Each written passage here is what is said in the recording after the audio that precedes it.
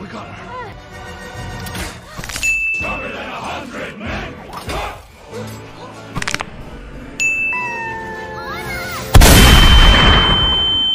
I am under the water.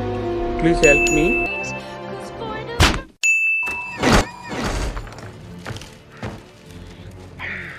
Help me out. Oh dear, that's no good. I sell ice for a living. Oh dear. This cracker.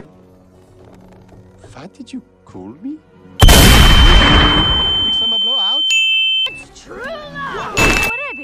Yeah, I bet she's the nicest, gentlest, warmest person ever.